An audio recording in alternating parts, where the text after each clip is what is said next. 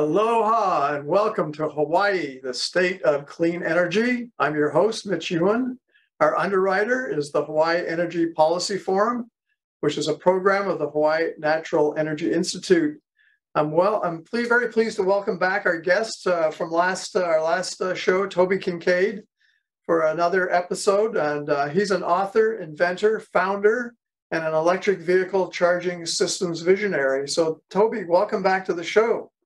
Thank you very much. Thanks for having me. Hello. Yeah. So today we're going to be talking a story about a winning team, batteries and fuel cells. Most people think that batteries compete with fuel cells, but actually they are a winning team. They work together. They have the various characteristics, and we're going to find out why they're a team here today with Toby. So Toby, let's launch off uh, and start talking about a winning team, batteries and fuel cells. Wonderful. I, I first have to say our hearts go out uh, to Maui, to everyone in Hawaii. It, what a gut punch. And uh, hey, folks, we got to change this. We got to fix it. Let's honor them. Let's fix it. So uh, we could start with that, I think. I, I just right. wanted to say we're heartbroken. But uh, in the first slide, you know, I, I wanted to label it, but I, I just couldn't. It, what's the point here? It's, it's the earth and humanity. And the earth, you know, Mitch, you're a long time sailor, your whole life. You're, you're a Navy man. So the idea of a vessel, of a ship to you is, is hardwired. And, and I wanted to label this, this uh, sketch, Save Our Ship. We, we are in big trouble here. We're burning up. We're in a heat wave. We've been burned out. Paradise, California, now in the middle of the ocean. You guys are getting the the the full weight of our carbon addiction. So uh, I just wanted to start with that. That uh, this is the point, and I was going to draw lots of people because there's eight billion souls aboard our ship, but I just drew one because it's the dignity of the individual that is our cause. That's our that's the most important thing. So starting that way, I just want to say our hearts go out. So, uh, you know, uh, we only have one planet Earth, mm-hmm. and it's uh, almost like a lifeboat for us. So, like uh, having um, been a captain of a ship in my previous life, you know, you're out there a thousand miles away from shore, and that's all you have. So, if you screw up, you know, you may last in the lifeboats for like a, a month if you're lucky, if you eat each other. You know, you read stories about people being in lifeboats but you know, we have to take care of our lifeboat.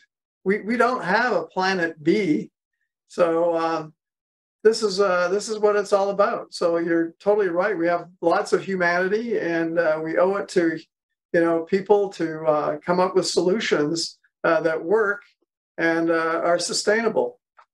Absolutely. So in, in our next slide, let's let's talk about how are we going to win? How are we going to beat this? So here's our Earth.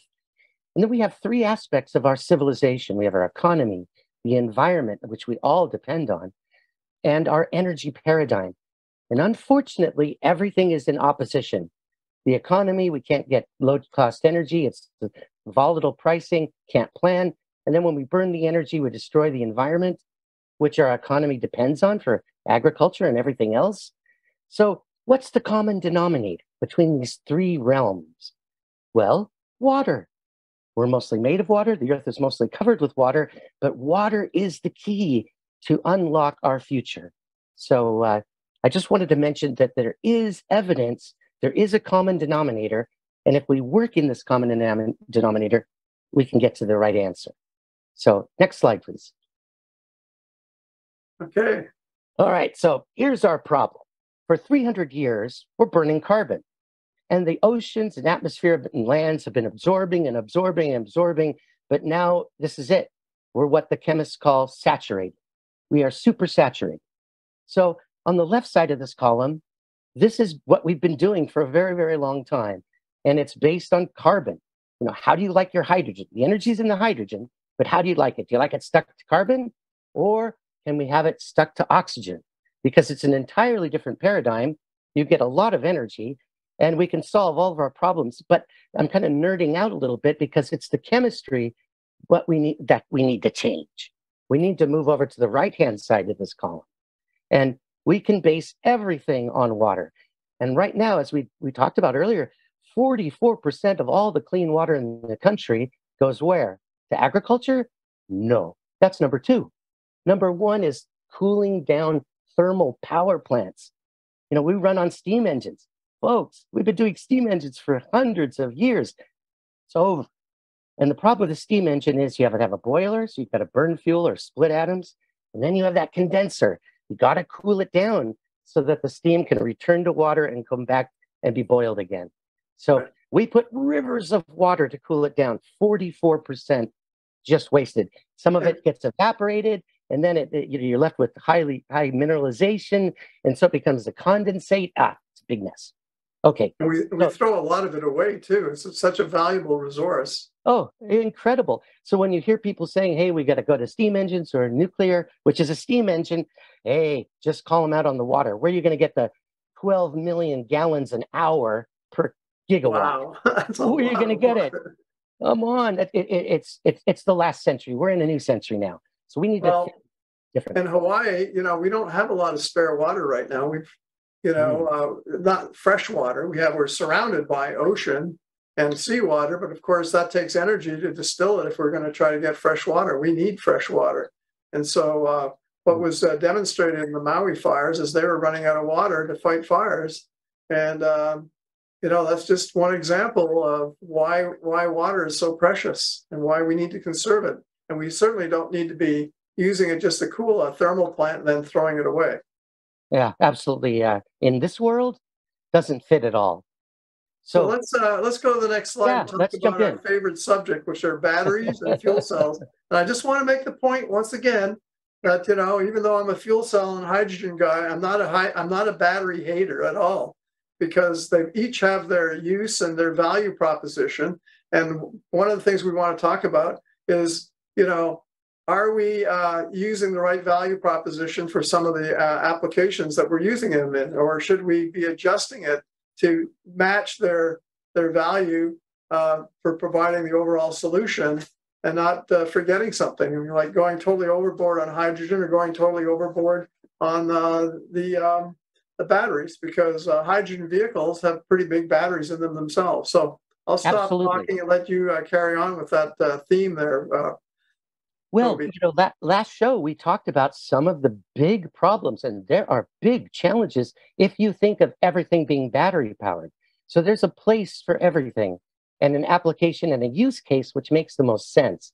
So I put these kind of problems up and I flipped it around like a question. So let's just look at the left side of this graph and you, you'll see that, you know, what's a big problem? Lack of materials. Can we, do we have enough battery material for all just the cars? Not even just the cars. Well, there's a billion and a half of them. It's a lot of cars. Right. So that's a problem. Huge loads on the grid. That's a problem because it, you're charging these cars in a fast charge with, you know, 30 to 300 houses worth of power. So that's yeah. a lot of capacity that you're going to put into one vehicle. So next problem, are there unscheduled loads? Well, yeah. When are you going to charge? The operator doesn't know.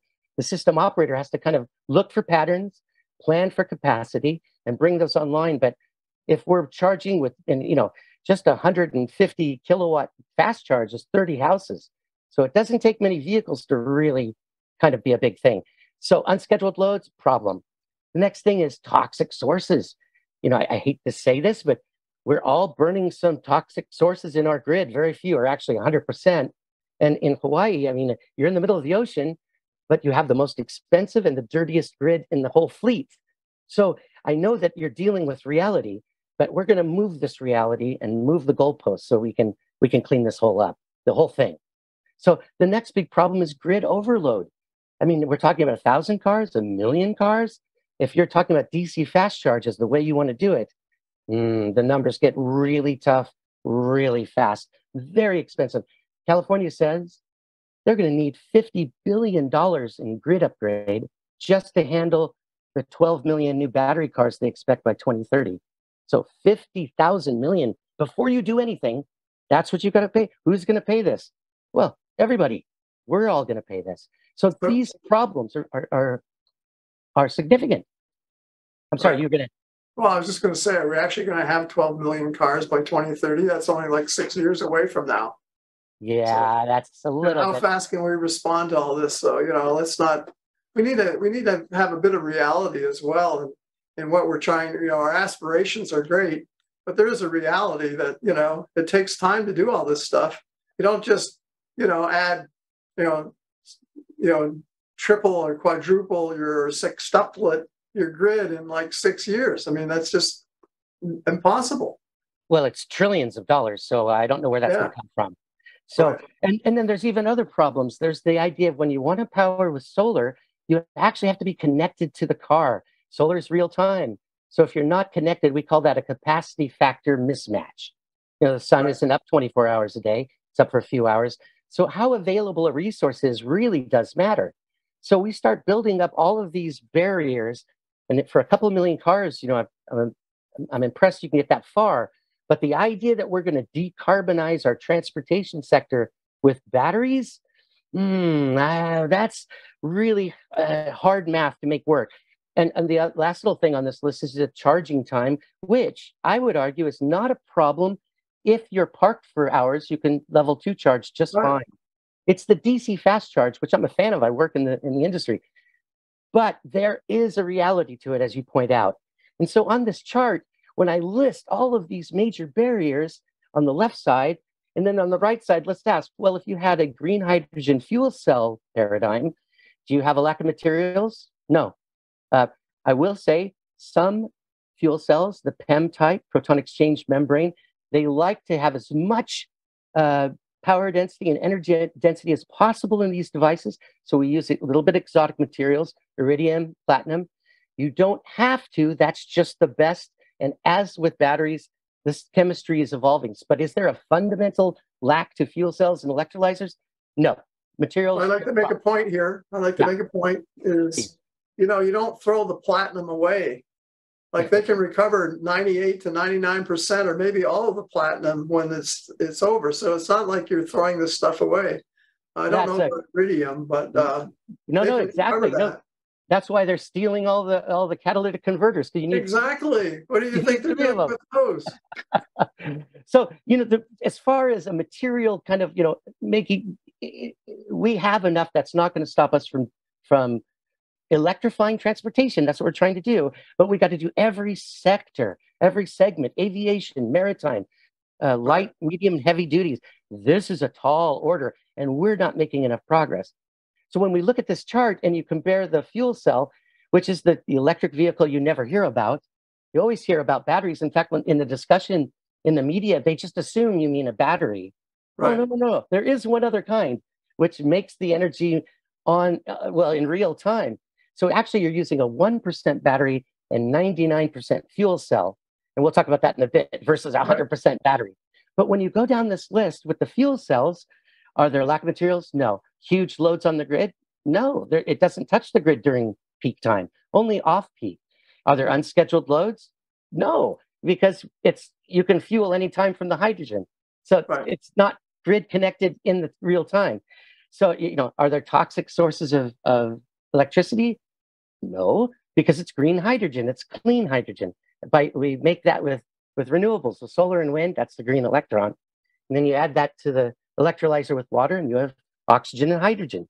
Let the oxygen go, the hydrogen's there, you dry it, filter it, put it in a bottle, ready to go.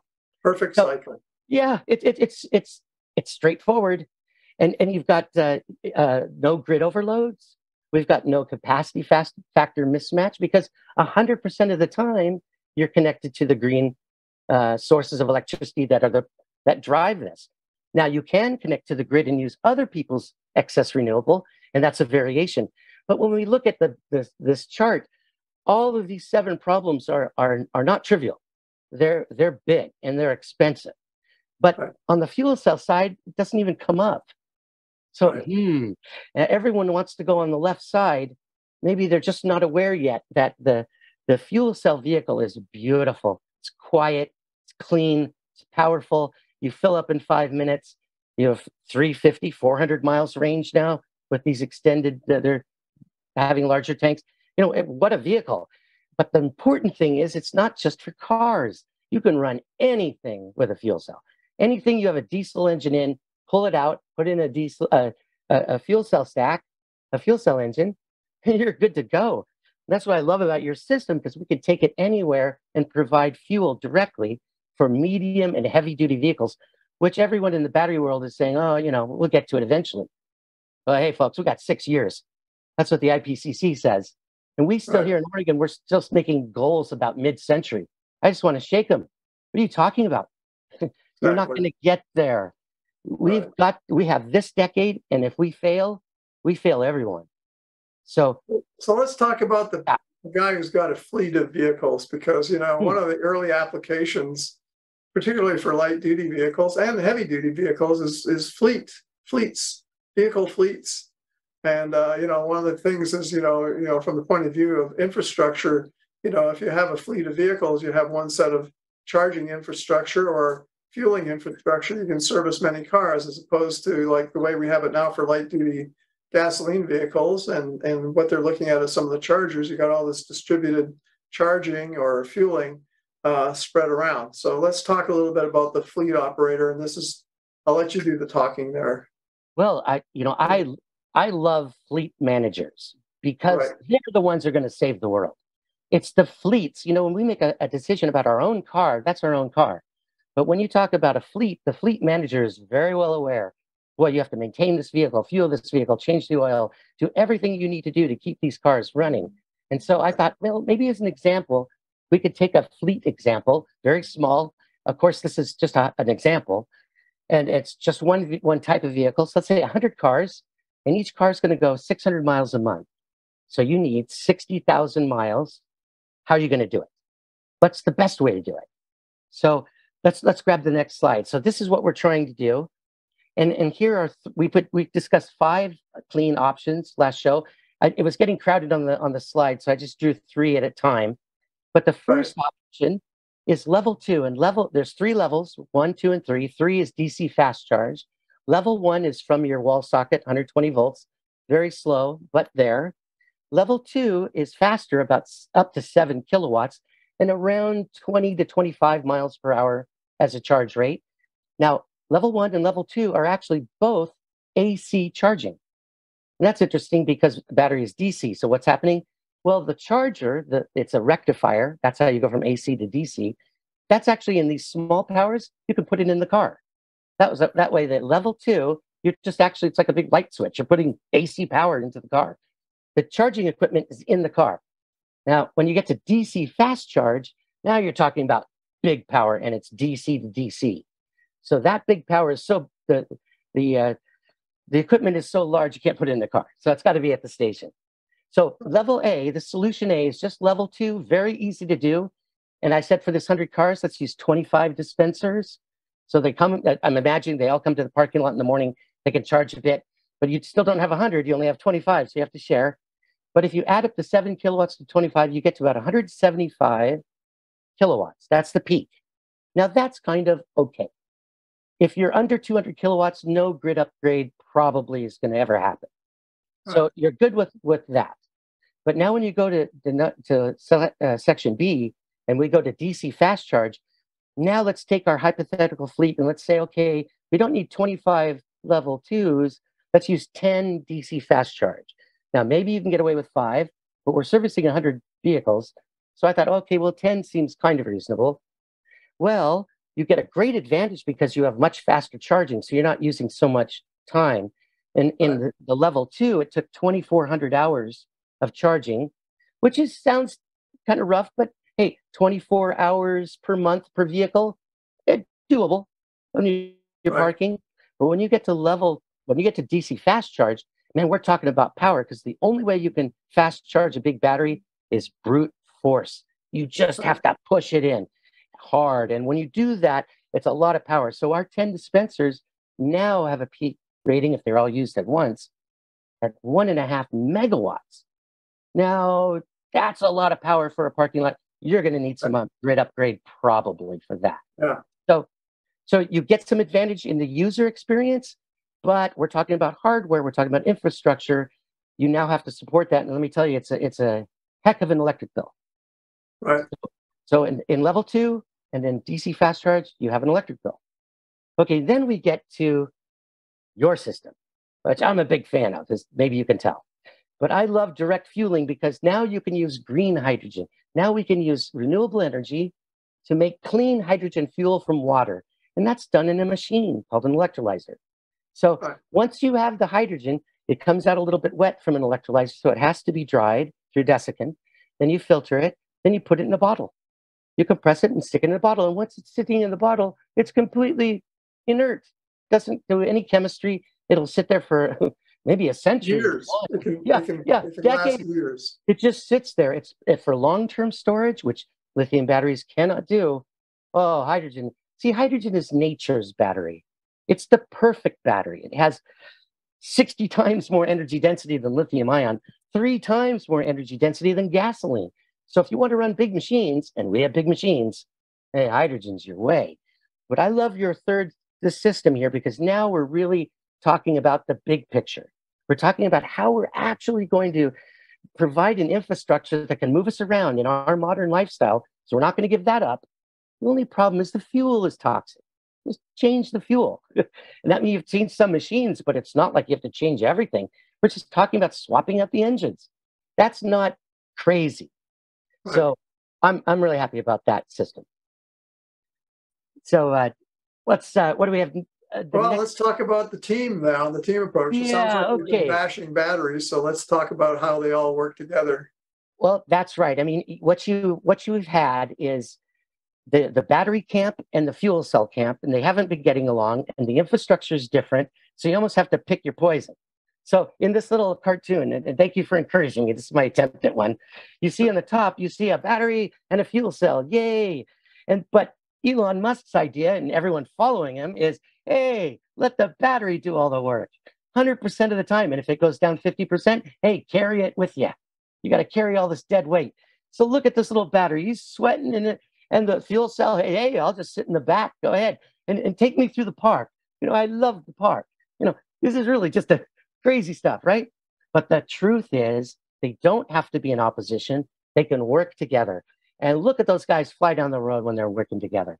See, the battery is great for what a battery is great at running electronics, quick transition, high power density in the moment. So if you want to accelerate, it's going to pull on the battery, but just enough to get you going. Then the fuel cell gets up to speed and goes, I'll take it from here. And now the fuel cell takes it over and the battery goes, whew, that's great. Now I can I can get charged. And so of course the fuel cell charges the battery. And so you only put hydrogen in this car. It doesn't take very long. It's five minutes. And And uh, it doesn't, it doesn't weigh a ton. yes, that's a big uh, uh, the- Oh. Some of the fuel cells in cars, they weigh actually a ton.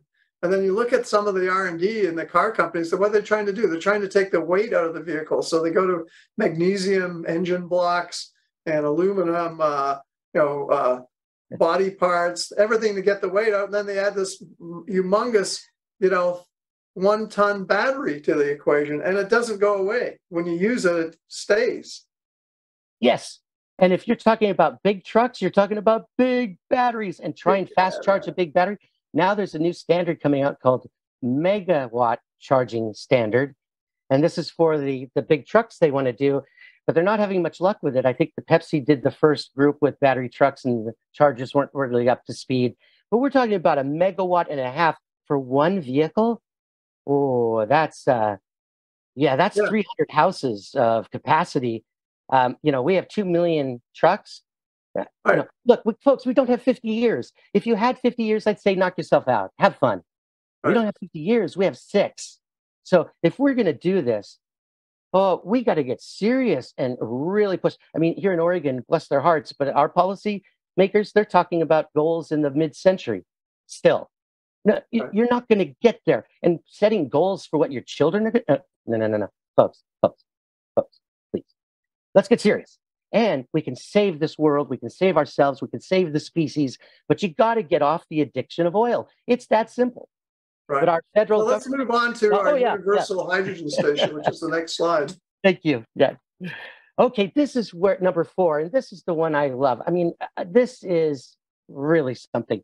Oh, now first, this is I'm, I'm looking at the screen. This is the little island picture. Yeah. Oh no, no. No. Okay, no, no, I got it. Yeah. Great. So what are we doing here? We're doing what you're doing. We're taking solar and wind. We're making green electrons. We know how to do that, but it's in real time, so you got to do something. So we Right. add water And now the water and the electrons go in the electrolyzer. They produce oxygen and hydrogen. The oxygen gets vented. The hydrogen goes into a system where we dry it, filter it, put it in a bottle. And now you have everything because you can dispense that fuel directly as you've pioneered. We could put it in the medium and heavy duty vehicles and aviation and maritime.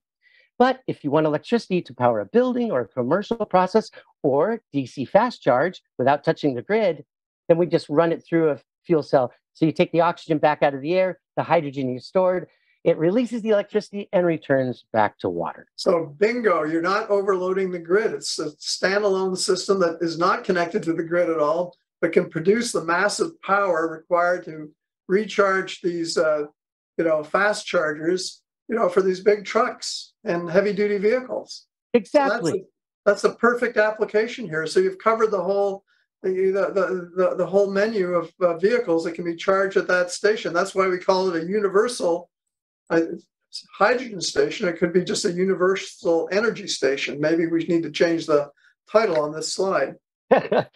yes, and and these are being developed. There, there's a uh, let me tell you about a variation. There's a company in New Zealand, uh, innovation. Uh, what is it? Renewable Innovations, I believe, and they use a like a 40 foot container and they're using a big fuel cell stack to drive what they call rapid charge. What's New Zealand? We call it fast charge.